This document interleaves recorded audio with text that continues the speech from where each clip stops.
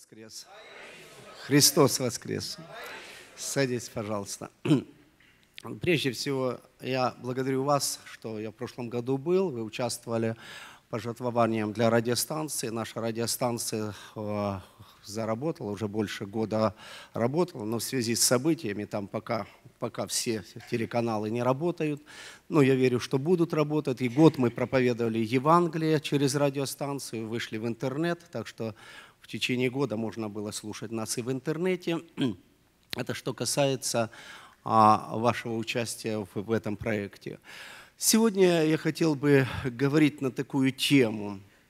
А, а, «Я буду жаловаться на, вас Богу». А текст послания к римлянам, 11 глава, со 2 стиха, три слова. «Он жалуется Богу».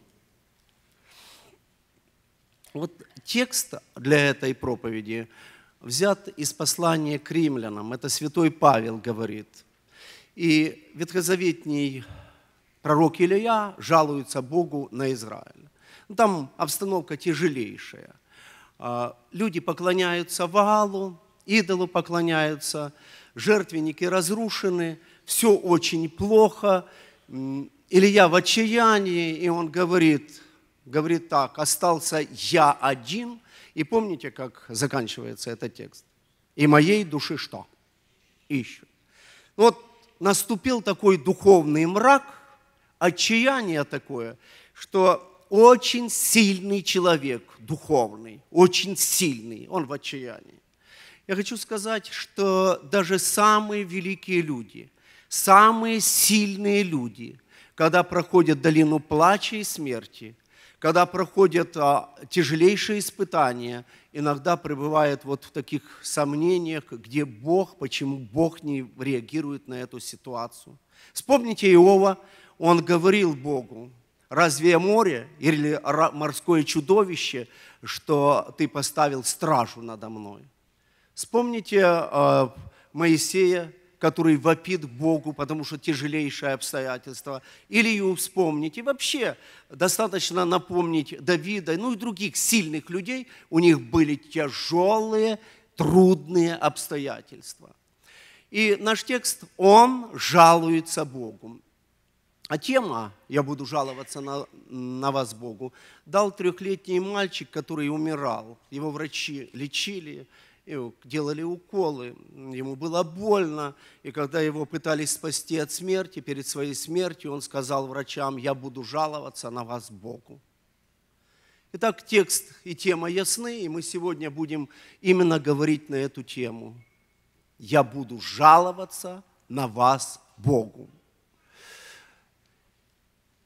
Нет ни одного человека в этом зале, который бы не жаловался – ну, кто жалуется на здоровье, кто жалуется на зарплату, кто жалуется на погоду, кто на жизнь свою. Люди жалуются. Люди жалуются, друг другу жалуются. Иногда работники жалуются главному бизнесмену на начальника, который им делает больно. Иногда компаньоны жалуются друг на друга. Я столько денег вложил, обещали вот это и говорили, что доход будет на 50 на 50, а сейчас что я имею? То есть а, люди жалуются. Иногда они жалуются, чтобы облегчить свою душу. Они не ищут даже защиты. Просто есть люди, которые хотят выговориться и рассказать, как им плохо и как с ними э, нечестно поступают. Они ищут сострадания. Люди ищут сострадания. Вторая группа ищет защиты. Вот они вышестоящим жалуются за тем, чтобы ситуацию поменяли. Ну, возьмите, вот, например, жена, которая жалуется мужу на лень или безответственность своего ребенка. Она говорит ему, «Э, тебе все деньги, деньги, ты все время в церкви, ты, ты взгляни э, на своего сына. Ему уже 15, и я тебе скажу, что если ты не вмешаешься, не вмешаешься, проблема будет. Она жалуется на дочь, на сына, пытаясь мужу, отцу сказать, что пора вмешиваться. Ты смотри, куда дело идет, это же, это же бедой закончится. И она ищет, что муж оставит все, чтобы заняться своими детьми. Вообще, я думаю, что я коснусь в этой проповеди, этой грани. Вообще самое важное в этой жизни – это семья. После Бога, после того, как мы покаялись, самое важное – это семья. Не служение, не изгнание бесов. Самое важное – твоя семья, твои дети. Мы должны помнить это. Потому что некоторые из нас забывают.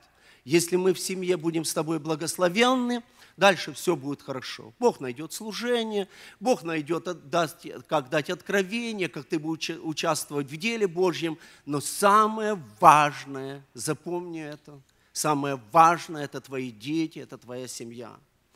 А, иногда в этой жизни люди жалуются, ища справедливость. Ну, ну вот с ними не поступают несправедливо, они жалуются. Давайте попробуем определить, что такое жалоба. Вот как бы вы ответили? Ну, это просьба о защите за, не, за нанесенную обиду, да? Это приносить жалобу, это роптать, ну, это плакаться, искать справедливости.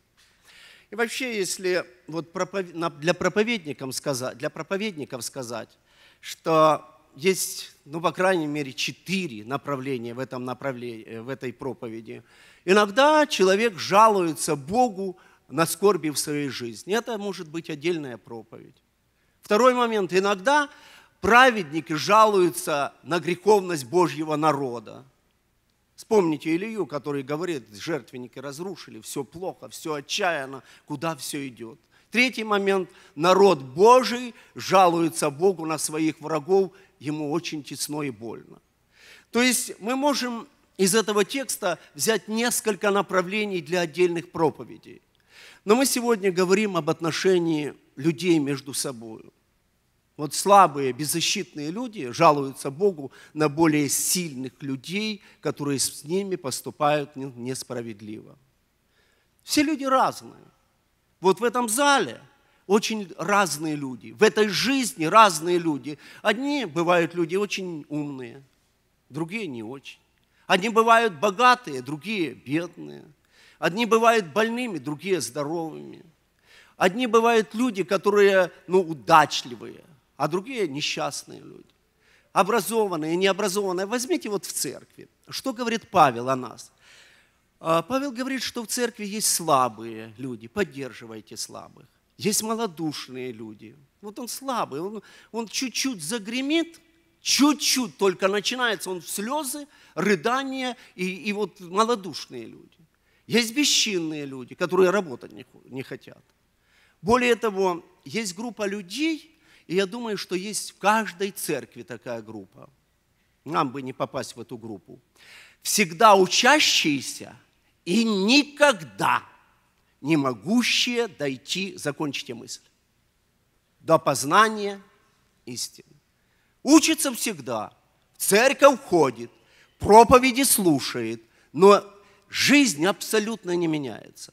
20 лет в церкви, 30 лет в церкви, ничего не поменялось. Он знает Библию, он может отлично сказать об этой проповеди, удачная, неудачная, но, но он абсолютно сам не меняется.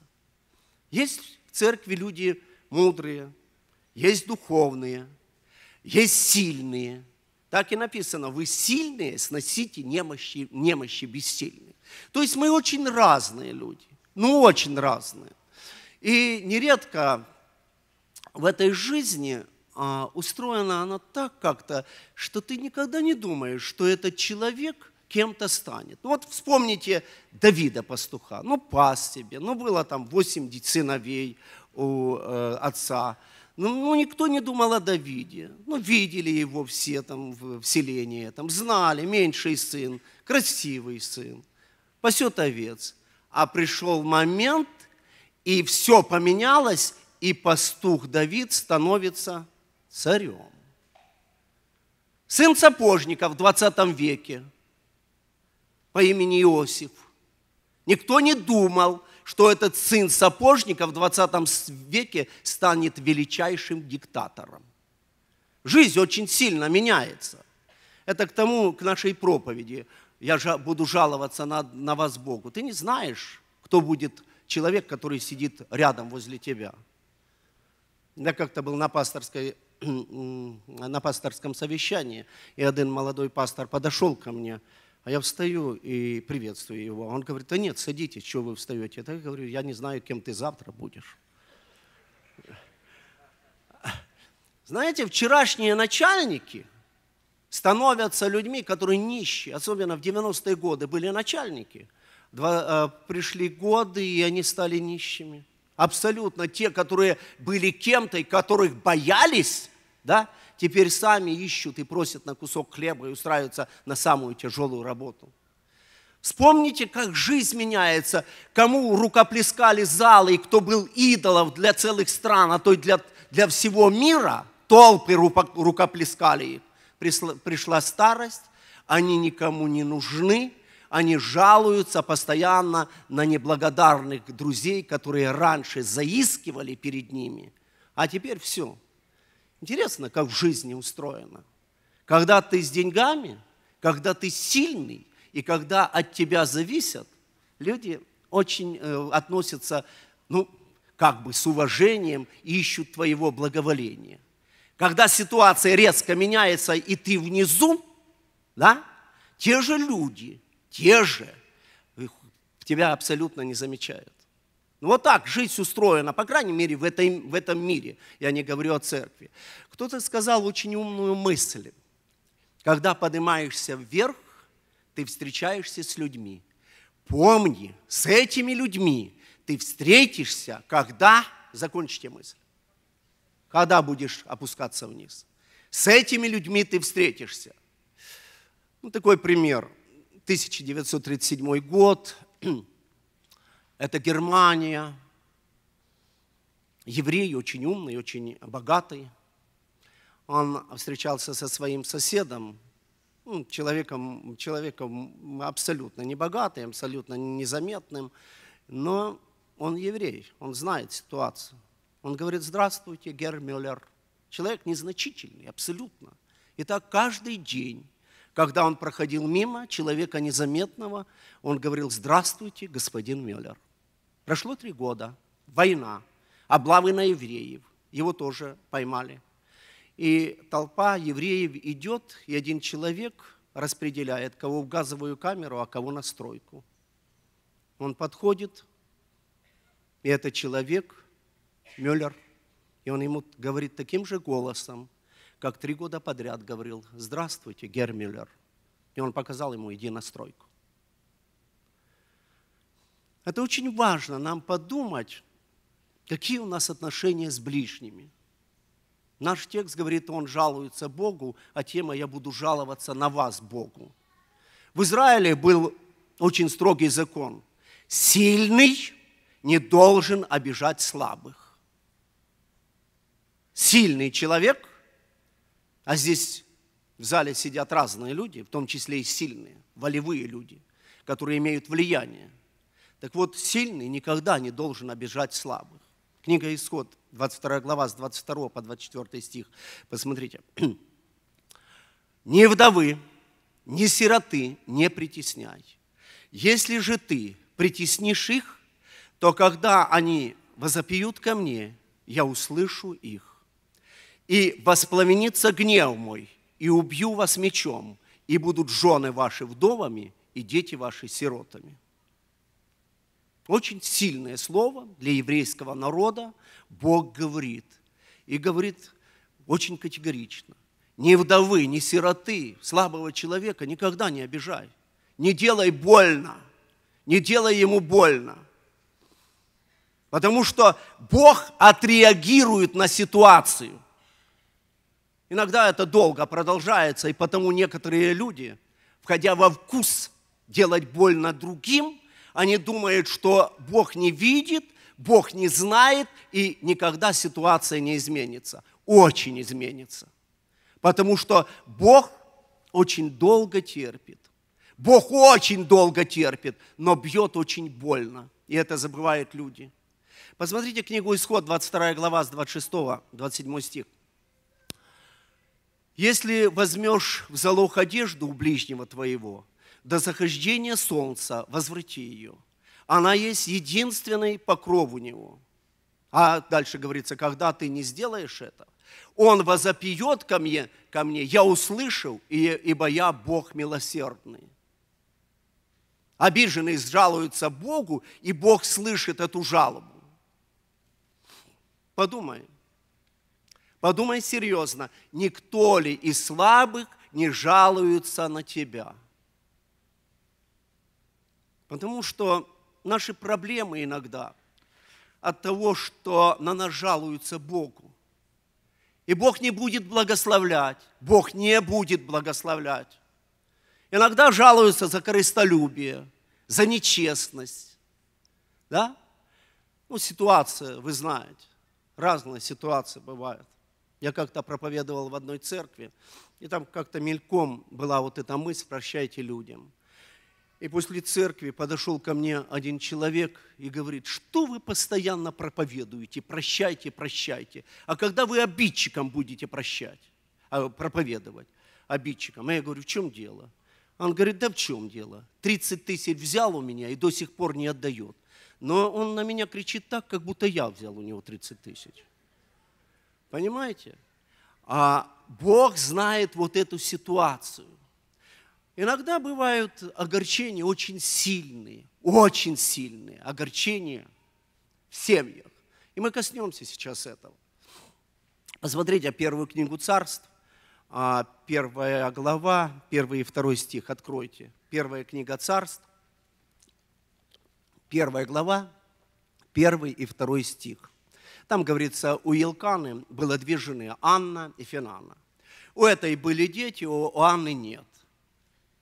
Хотя Анна была любимой женой у Елкана. Семья ежегодно ходила в село. Там был дом Божий и священник Или. вы эту историю помните. Шестой стих, посмотрите. Соперница ее, Анна, Анны, сильно огорчала ее, побуждая ее к ропоту на то, что Господь заключил чрево ее. Так было каждый год. Та огорчала ее, а это плакала и не ела. Десятый стих. И была она в скорби души и молилась и Господу, и горько плакала. Обратите ваше внимание на слово «горько плакала». В Библии не так часто говорится, когда человек горько плачет. То есть на взрыд. Вот рыдает, потому что ему делают так больно. Эта женщина, Финана, постоянно делала ей больно. Вот есть люди, которых которые испытывают удовольствие, когда возле тебя страдает человек. Вот богобоязненный человек, благочестивый человек никогда не будет этого делать. Никогда. Но есть люди, которые испытывают какое-то греховное наслаждение от того, что возле тебя человек страдает и горько плачет. Там молилась Анна – и молилась Богу, и, и, или подошел, посмотрел, говорит, вытрезвись от вина своего. А она говорит, я жена, скорбящая духом. От великой печали и скорби моей я говорила Богу вот эту ситуацию. Она жаловалась Богу на свою ситуацию. Ей было очень больно, очень горько, и это продолжалось годами. Удивительно. Но иногда Бог допускает – что это продолжается годами. Но в конце концов это, это, эта ситуация изменится. Бог вмешается. И понимаете, как получается? Не скоро совершается суд над злыми делами, и потому сердце сынов человеческих не боится делать зло. Анну Бог благословил. Она услышала слово, и сказано, что она пошла домой, и не было печально. Она родила Самуила, а потом еще пять детей. Бог благословил. Я буду жаловаться Богу. Не говорят ли некоторые жены своим мужьям за их жестокость, за то, что они неправильно поступают с ними?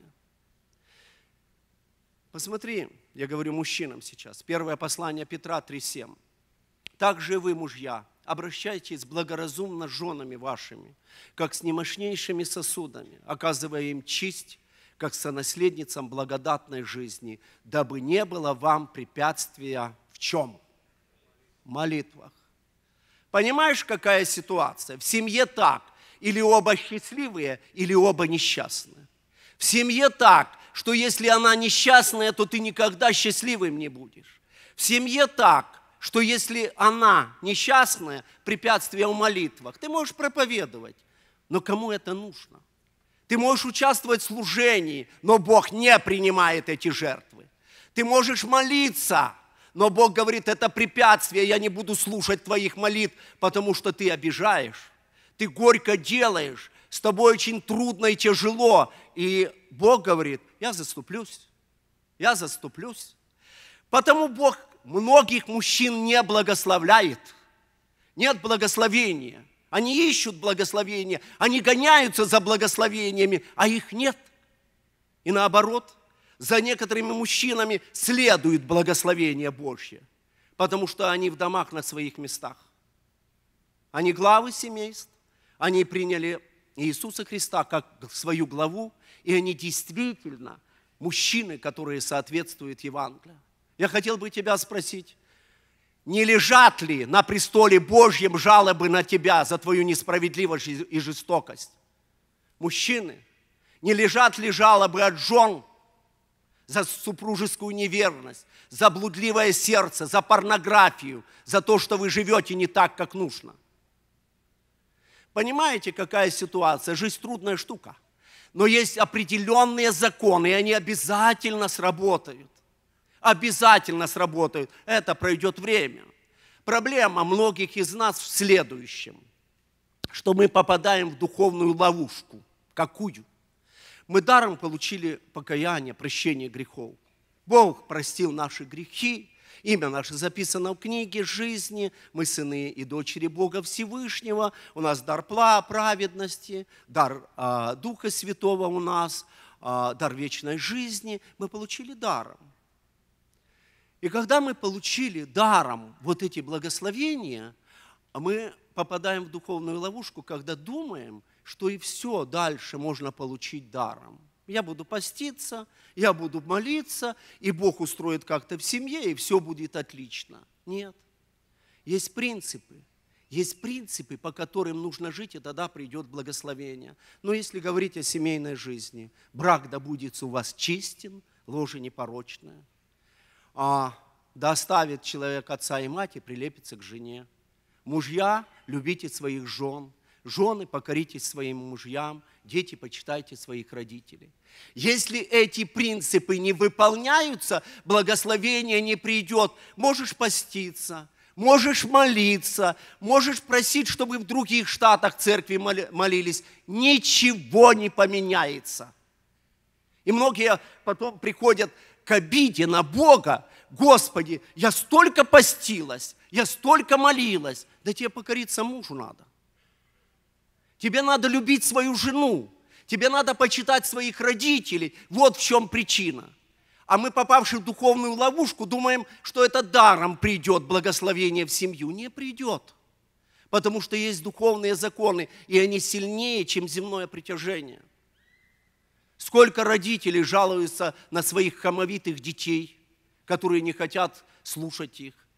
И эти жалобы лежат на престоле Божьем.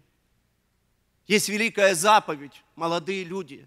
Я хочу отметить это. Вы не будете благословенны, если у вас не будет почтения к вашим родителям. Вы не сможете избрать правильных людей как спутников жизни, если вы не будете почитать своих родителей. Бог не благословит за то, что ты служишь Богу и молишься на иных языках. Бог благословит за то, что мы выполняем Его Слово. Бог не будет Библию переписывать. Бог, если сказал, почитай своих родителей, и будет тебе благо, и будешь долголетен на земле, будешь иметь добро и будешь долголетие иметь благословение при почтении к своих родителей. Не будет почтения к своим родителям, никакие молитвы не помогут. Я хочу отметить вот эту ситуацию, потому что почему массовые разводы? Почему люди уходят из жизни, а, э, заканчивая жизнь самоубийством? Почему рушатся отношения в церкви? Почему? Есть причины. Церковь, я говорю в общем, потеряла страх Божий. И церковь не стала ожидающей. Вот причина, почему мы имеем очень серьезные проблемы. И на смену потери страха Божьего пришли тайные идолы, и потому война у ворот. Потому что тайные идолы пришли в жизнь страх Божий оставлен, и человек хочет найти королевскую дорогу к благословениям Божьим, не пройдя распятие ветхого человека, а этой дороги вообще нет. Вот в этом причина.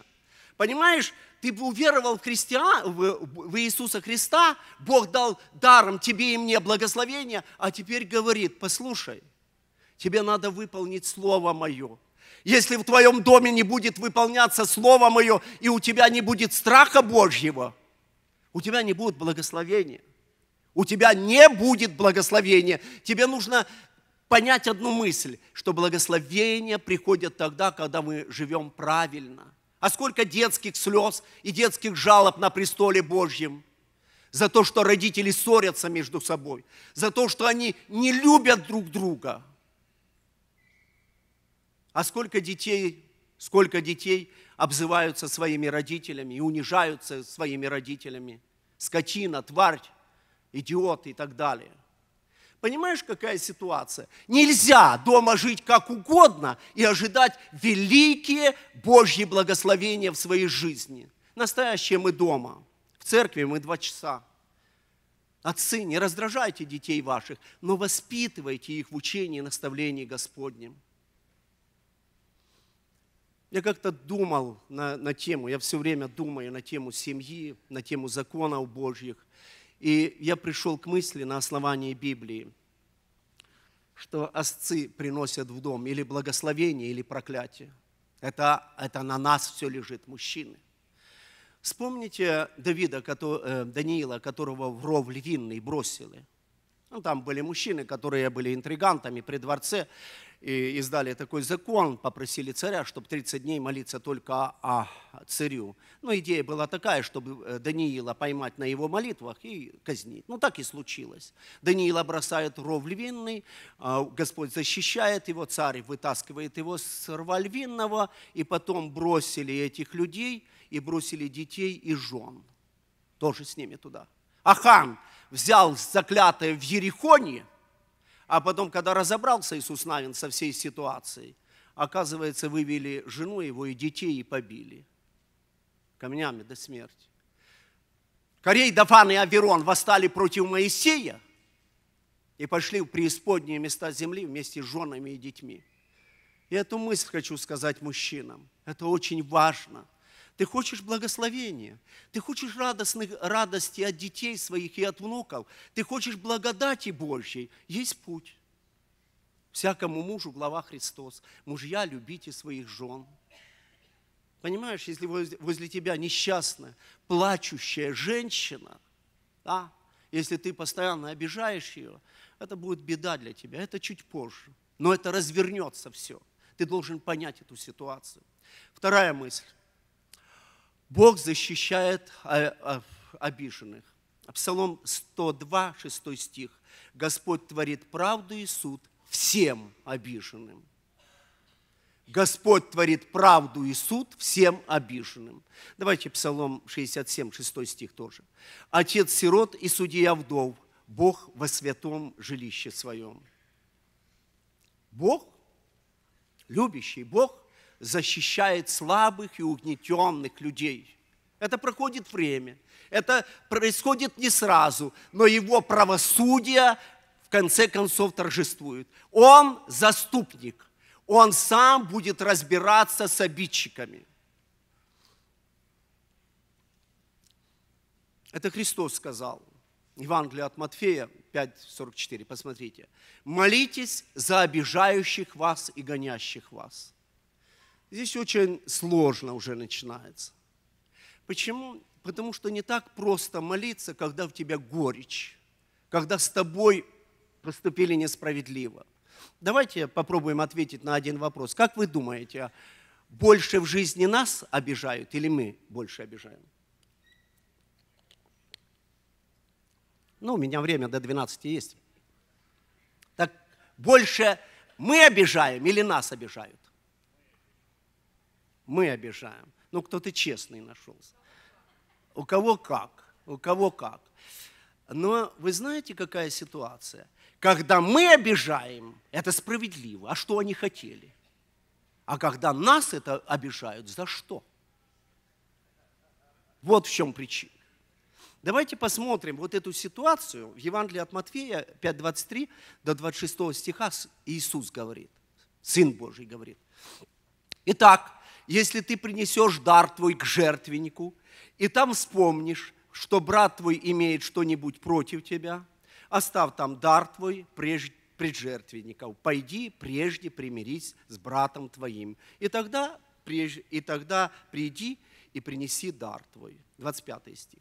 Мирись с соперником твоим скорее, пока ты еще на пути с ним, чтобы соперник не отдал тебя судье. Вот это мы заметьте. Соперник отдает судье.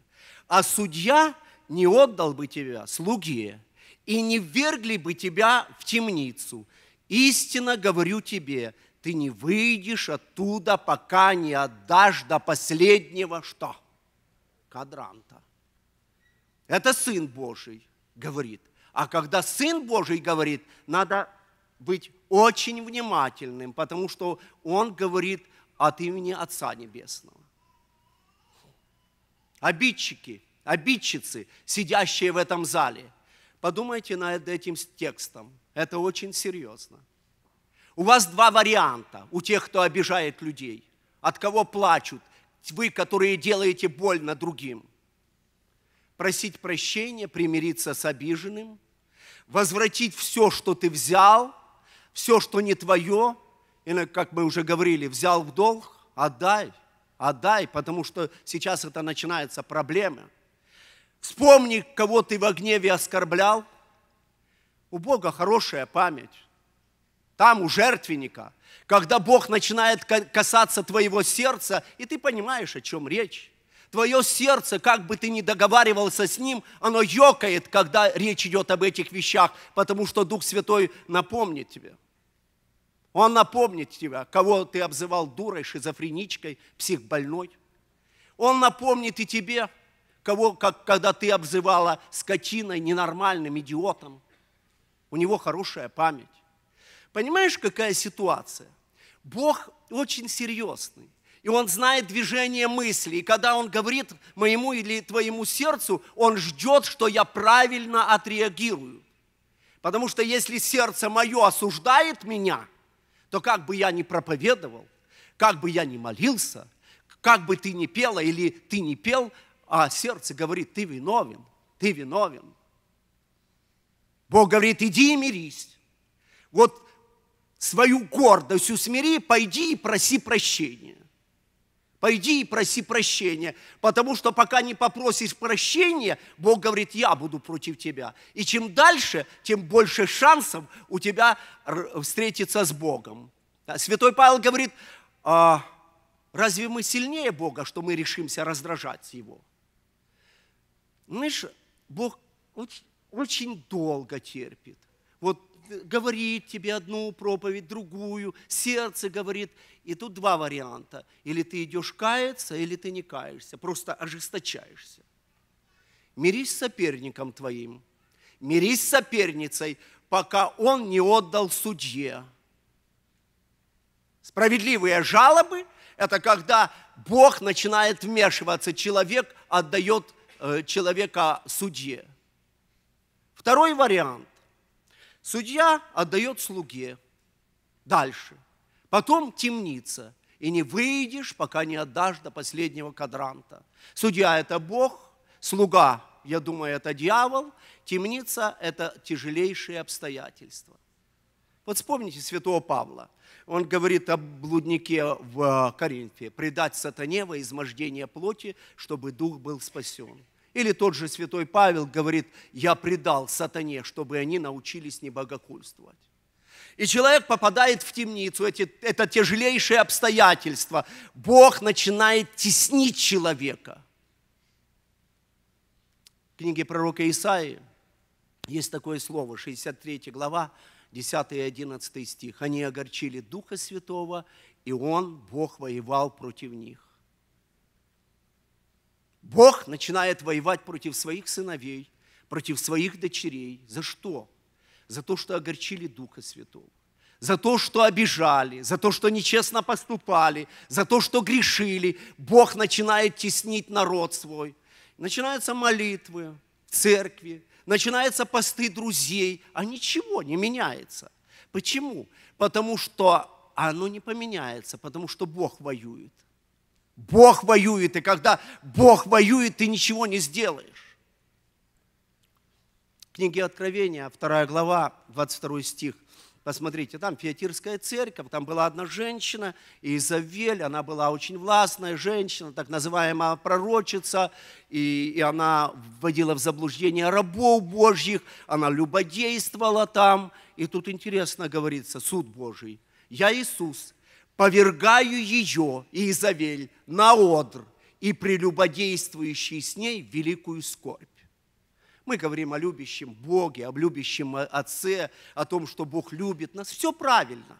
Но когда заканчивается терпение Божье, Бог э, э тут говорит, повергаю ее вели, на одр, а любодействующих великую скорбь. Хоть молись, хоть не молись, хоть постись, ничего не изменится, пока не совершишь настоящее покаяние пока, не, пока до последнего кондранта не отдашь, и покаяние в делах. Знаете, мы часто говорим, вот 20 человек вышло на покаяние.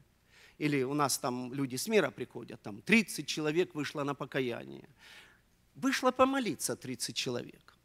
А покаяние – это вот что. Да оставит нечестивый путь свой, и беззаконник что должен оставить? Помыслы.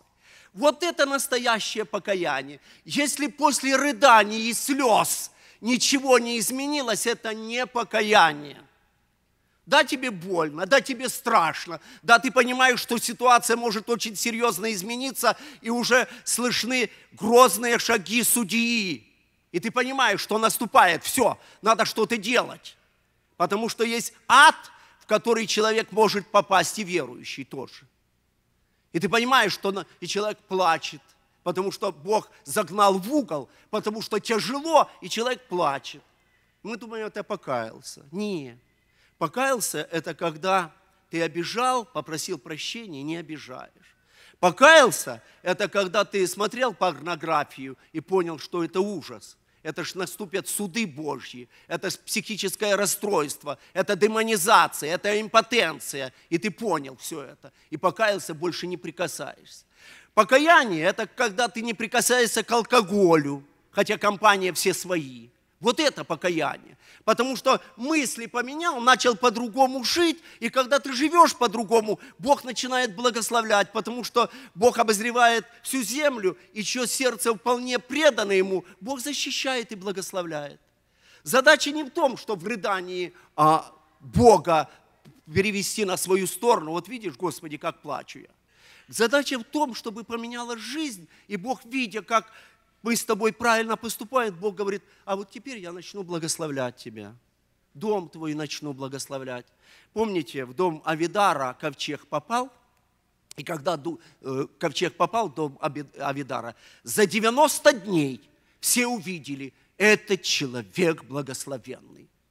90 дней, и все соседи увидели, что с приходом ковчега в дом Авидара Бог начал благословлять его. Как, то, как только мы станем правильные отношения с Богом, все увидят. Бог начинает благословлять. Третья мысль. Всех ли обиженных защищает Бог и заступается за них? Это тоже интересный вопрос. Бог не внимает обиженным, которые не прощают своих обидчиков. Это трудная мысль, это тяжелая мысль. Но если мы с тобой не сделаем этого, не простим обиж, а, обидчика, Бог не будет заступаться за нас. Бог заступается за обиженных только тех, которые прощают своим обидчикам. Вообще, самое страшное для обидчика – это если ты простишь. Пока ты не прощаешь, Бог не вмешивается. Как только простишь от сердца, вот в этой ситуации Бог добился своего, потому что ты выполнила то, что написано, прощайте. Ты выполнил то, что написано, прощайте. Но с момента прощайте, и ты выполнил, Бог говорит, а теперь ты будешь дело иметь со мной. И теперь уже не от тебя будут плакать, а ты будешь плакать, и ночь сделаю такой короткой, а подушку такой мокрой, и такие горькие травы подам к, к обеду твоему, что ты поймешь, что значит быть в шкуре тех, которых ты обижал. Бог знает, как это делать. Бог умеет это делать. Однажды святой Петр подошел к Иисусу Христу, Евангелие от Матфея, 18 глава, 21 стих. Он говорит, Господи, сколько раз прощать брату моему, который согрешил против меня? До семи ли раз? Иисус говорит, да нет, прощай до семижды, семидесяти раз. Сложно, тяжело очень. А что делать, когда у тебя даже не просят прощения? Что делать, когда с тобой поступают нечестно, несправедливо? Что делать? Надо прощать. Я знаю, это очень трудно. Я знаю, это очень тяжело. Но понимаешь, какая ситуация? Бог говорит, становишься на молитву, прощайте людям. Как только простишь, я твою молитву услышу. Ситуация под контролем Божьим, никуда ничего не исчезнет. Бог знает ситуацию, все нормально, но Бог добивается в моем сердце, чтобы я научился прощать. Кстати, в ваших семьях кто первый просит прощения, муж или жена? Но я не думаю, что это самая великая тайна в Америке. Как бы вы ответили на этот вопрос? Муж или жена просит прощения? Жена. Жена просит. А, говорят, что если мужчина мудрый и делает ошибки, он всегда просит прощения за свои ошибки у жены. А если мужчина не делает ошибки а, и просит прощения, это женатый человек.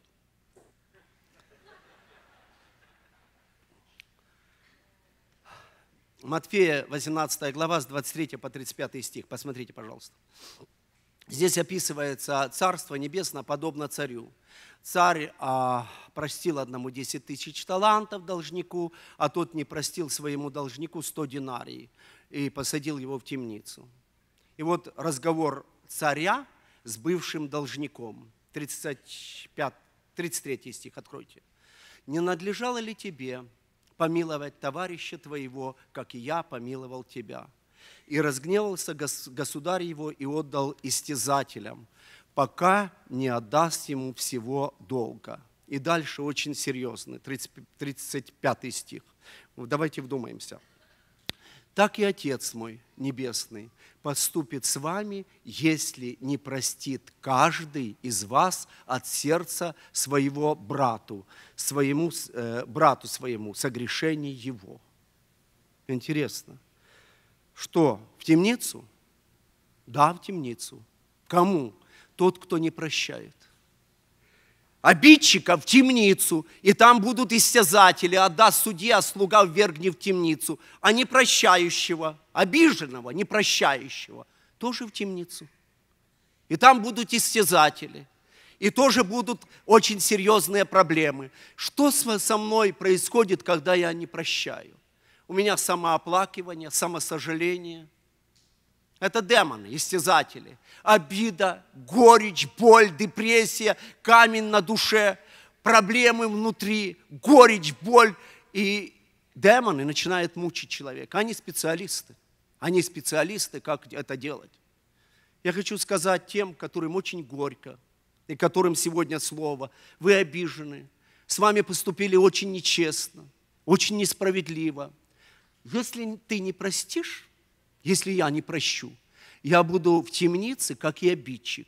Только он за то, что меня обидел, а я в темнице за то, что не прощаю. Иногда обиженные доминируют через свою обиду над обидчиком. Я тебе этого никогда, закончить, я тебе этого никогда не прощу. Знаете, семейная сцена – и там начинает, он, она сказала ему одно, он другое, она ему десять, и, ну, вы, некоторые из вас понимают, о чем я говорю. И потом говорит, я тебе этого никогда не прощу. Запомнил? Не простишь, будешь в темнице. И потом отчаяние, и потом подорванное здоровье, и потом очень серьезно. Пример прощающего сердца. Иисус, который распинали на Голговском кресте мучители.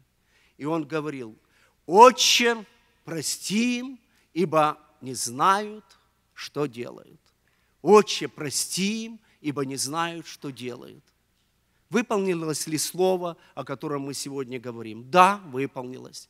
В 70-м году Тит подошел к Иерусалиму, там были все те, которые распинали Иисуса Христа, там были все те, которые, которые не приняли Его, и там началось очень серьезно, очень серьезно. Иерусалим был разрушен, и все были э, иудеи, продаваемые на рынках тогдашнего мира.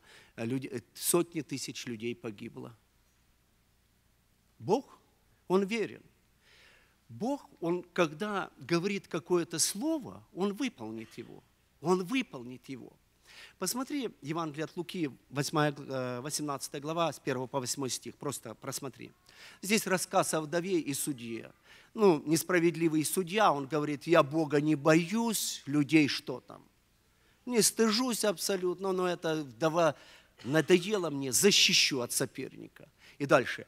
Бог ли не защитит избранных своих, вопиющие к Нему? Как? Я не думаю. Он медлит, но подаст защиту вскоре. Да, иногда нам кажется, Господь, почему? Сколько можно, Господь? Я устал, я устала. Господь, я прошу Тебя. У Бога есть свое время. Но когда Он вмешивается в ситуацию, это очень серьезно. Бог начинает судить человека на земле. Бог, который судит человека на земле, верующих. Некоторые ответы на вопрос, почему наши молитвы церковные не приходят на память перед Богом, когда мы молимся за, э, за какого-то человека. Потому что в данной ситуации Бог может судиться с человеком. Помните э, Каринскую церковь, и святой Павел говорит, от того из вас многие больны, немощны и немало что? Умирают церковь молится, все сострадают, э, посты накладывают. Эта ситуация не меняется, потому что надо не церкви э, меняться, а людям, которые неправильно стоят перед Богом. Прежде всего их, э, им надо поменяться. Ну, братья у нас занимаются изгнанием бесов уже 15 лет. И раньше, когда начиналось служение изгнания бесов, мы молились сразу – Сразу вот человек приходит, его там начинает трясти, кричит, бесы начинают вот это все проявление, и мы кричали, и, и, и плакали, и приказывали, и так далее. А после определенных ошибок, после определенных безуспешных попыток изгнать беса, мы начинаем с того, что ты покаялся или нет, принял Иисуса Христа или нет, а ты исповедал свои грехи или нет – и начинаем приводить к покаянию. И когда человек искренний и измученный, то Бог пришел отпустить измученных куда? На свободу. Свободу дает измученным Бог. А человек, который не измучен, он будет продолжать мучить других. И когда человек искренне кается, да, Бог дает свободу, иногда очень быстро от демонической зависимости, а иногда, иногда, иногда бывает у человека обиды на Бога. Вот случилось, я встречал людей, которые очень обижены на Бога, очень обижены на Бога. За что в моей жизни ты допустил такие переживания? Чем я виновата или чем я виноват перед тобой, что вот такое несчастье пришло в мою жизнь? И горечь обиды внутри на Бога. И когда вот эта горечь обиды внутри на Бога, ты же никогда благословенным не будешь. Есть очень непонятные пути Господни в нашей жизни. Почему Иосифа продают братья, и Бог не заступается? Почему женщина оклеветала Иосифа, и Бог молчит? Он в темнице. Есть таинственные пути Господни, которые Иосифа, Иосифа приводят к благословениям. Вот когда нам трудно, когда мы не понимаем Бога, когда нам очень больно, самое умное, что можно сделать, это смириться перед Богом и вспомнить стих, который сказал святой Павел. «Любящим Бога, призванным по Его изволению, все содействует ко благу, к радости не всегда, а ко благу точно». И наша тема я буду жаловаться на вас Богу. А текст Римлянам, 11 глава, 2 стих. Мы идем к заключению. Проблема обид в церкви. Посмотрите 1 Коринфянам, 6 глава, 8 стих. Но вы сами обижаете и отнимаете, и при том у братьев. Люди, крещенные Духом Святым. И им Павел говорит, вы сами обижаете и отнимаете, и при том у братьев. Это нередко встречается в современных церквях. Или Галатам, 5 глава, когда Павел говорит Галатам, вы друг друга угрызаете, съедаете, берегите, чтобы вы не были истреблены друг другом. В Коринфе были слабые люди, и их обирали, над ними доминировали люди, которые более сильные. Знаете, есть люди более сильные, когда они находят жертву, которая не может защититься, да, они чувствуют э, этих жертв. Они начинают э, с ними поступать очень неправильно. И обидчикам Иисус сказал такие слова. Матфея 18 глава 10 стих. «Смотрите, не презирайте ни одного из малых сих, ибо говорю вам, что ангелы их на небесах всегда видят лицо Отца Моего Небесного». Знаете, в церкви есть люди, которые, ну, не выдались, ну, не яркие, ну, вот такие, как есть. Но за ними Господь стоит. Он творит суд обиженным. Если ты его унижаешь, если ты ему боль наделаешь, вспомни, у него есть отец, который заступится за него.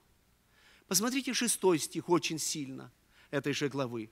А кто соблазнит одного из малых сих, верующих меня, тому лучше было бы, если бы повесить ему мельничный жернов на шею и потопить его во глубине морской. Не сеем ли мы с тобой соблазны, преткновения – не обижаем ли мы кого-то, и ты знаешь, о чем я говорю, ты понимаешь. Бог заступается только за тех обидчиков, которые прощают, за тех обиженных, которые прощают. 1 Петра, 2 глава, 23 стих, несколько стихов прочитаем. Будучи злословим, он не злословил взаимно, страдая, не угрожал, но предавал то судье праведному. 19 стих ибо то угодно Богу, если кто, помышляя о Боге, переносит скорби, страдая несправедливо. А 20 стих, я долго думал над ним, несложно принять его в сердце. Если, делая добро, страдаете, терпите, то, то это угодно Богу. Еще раз. Если, делая добро, страдая, терпите, это угодно Богу несправедливо тебя обижают, с тобой несправедливо поступают, и это угодно Богу. Вот за таких людей заступается Всевышний. Вот за этих заступается Всевышний. Мы сейчас будем молиться. И последний текст, который я хочу прочесть, это Откровение, 11 глава. Давайте посмотрим с тобой пятый стих. Откровение.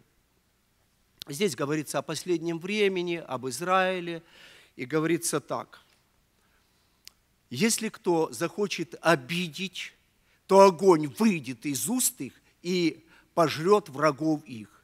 Если кто захочет их обидеть, тому надлежит быть убитым. Я хочу спросить в церкви, хорошо, если бы о церкви было бы написано так, о церкви. Если кто э, захочет обидеть верующих, то огонь выйдет из уст их и пожрет врагов их. Если кто захочет обидеть члена церкви, а, тому надлежит быть убитым. Что бы было? Я в одной церкви проповедовал, спрашиваю, что было, они говорят, да все мертвые были. Понимаешь, как-то оно устроено интересно. Бог знает всю ситуацию. Он прошел голговские страдания, его несправедливо обижали, он прошел огненное крещение. И он говорит народу своему, я буду вас крестить Духом Святым и еще чем? Огнем. Вот это, когда нас несправедливо обижают, я не говорю за, не, за справедливые обиды, когда нам э, ну, справедливо с нами поступают, потому что Павел, э, Петр говорит, чтобы не было Э, вора среди вас, а злодея или посягающего на чужое, или убийцы, чтобы не было. А несправедливо. Это огненное крещение. Бог проводит нас через, через огонь, когда Он молчит, Бог, возле нас нечестный человек, возле нас жестокий человек, нам делает больно, и в это время приходишь в церковь, а тут говорят, прощайте. Вот тебе с тобой несправедливо поступают, а тебе говорят, прощает, прощайте. Все внутри поднимается против этого. А Бог говорит, послушай, ты должен пройти свою Гефсиманию. Ты пройдешь свою Голгофу. Возле тебя будут такие же люди несправедливые, как возле меня. Тебе так же больно будут делать.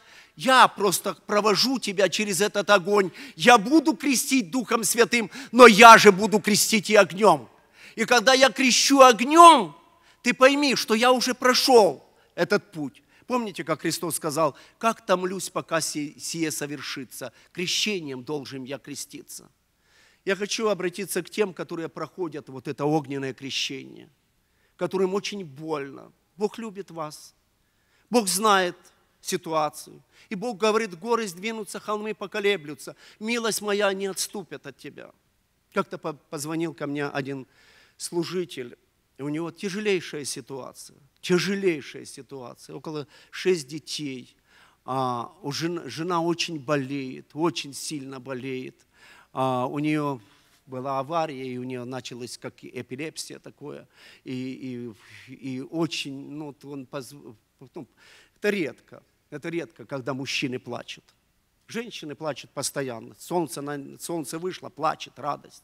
Дождь идет, тоже плачет. А когда мужчина плачет, это, это проблема. Значит, вообще безнадежно все. И он плачет, молодой, лет около 40, плачет и, и говорит, вот такая ситуация, говорит, по ночам не сплю, горько, больно, говорит, и он же и пастор, ему надо пойти и потом сказать вдохновенную проповедь о том, что Бог любит, утешать людей, когда горько на душе. И говорит, пришел, пришло момент такой, что отчаяние, полного отчаяния перед Богом. И я, говорит, взял Библию и начал читать. Я открыл Исаия, 48 глава, 17 стих и 18, и там написано, «Я Бог твой, научающий тебя полезному и ведущий тебя по тому пути, по которому тебе, закончите мысль, надлежит идти. О, если бы ты внимал заповедям моим, тогда мир твой был бы как река, и правда твоя, как волны морские. И говорит, Бог проговорил к моему сердцу. Может, сегодня к твоему сердцу Бог говорит такие слова. «Я Бог твой, научающий тебя полезному». Господи, мне больно, мне горько, причем полезно. Я Бог твой, научающий тебя полезному. Я провожу тебя за тем, чтобы ты мог сострадать другим. Я провожу тебя, что твой эгоизм и твоя обидчивость ушли с твоего сердца, потому что обида – это раненая гордость, потому у тебя и много проблем, потому что слишком много эго и слишком много гордости внутри. И Бог проводит нас через вот этот огонь. И когда мы пройдем через этот огонь, тогда придет Его благословение, придет Его благослов... благодать, рука Его благословляющая, и все станет тихо и спокойно, и придет в душу мир и покой. Вот этот драгоценный мир и покой приходит в душу, когда у нас даже нелегкие ситуации. Я просил бы вас сейчас встать, и мы с вами будем молиться сейчас. Если Дух Святой говорил твоему сердцу, и ты хотел бы, чтобы за тебя церковь помолилась, и ты хочешь, чтобы Господь благословил тебя, ты можешь выйти наперед. Я абсолютно не буду эмоциональные вещи говорить сейчас. Я просто скажу, кому это надо, и кого касался Дух Святой, и ты хочешь, чтобы Бог благословил тебя, ты понял, что Господь от тебя хочет. Если ты хочешь, чтобы за тебя помолились, пройди наперед – и мы будем молиться, и пусть Дух Господень придет к тебе и принесет свой чудесный мир, и все раны сердца твоего будут исцелены, и вся боль уйдет, и возвратится радость спасения, и Он, благословляющий, приносящий мир и тишину, придет в сердце твое, и Он скажет вот эти два слова, умолкни, перестань, и придет великая тишина. Мы начинаем молиться. Кто хочет, пожалуйста, пройдите. Отец Небесный, в этот час мы приходим к Тебе. Господь, мы приходим к Тебе, к алтарю Твоему. И молим Тебя, чтобы Ты пришел в этот зал. И молим Тебя, чтобы открылись небеса сейчас. И мы молим Тебя, чтобы Ты, благословляющий смиренных и сокрушенных, пришел в этот зал, и Твоя благодать и Твое благословение пришло. Благослови каждое сердце, которое в этом зале. Яви Твою милость и благодать, Господь. Открой Твои окна небесные, и да придешь, Господь, с Твоим чудесным исцелением, с Твоим чудесным благословением. Возврати радость спасения народу Твоему, Господь, и так, чтобы благодать и благословение пришли в сердце наследия Твоего. Господь, благослови наши дома. Господь, благослови каждого человека, который в этом зале.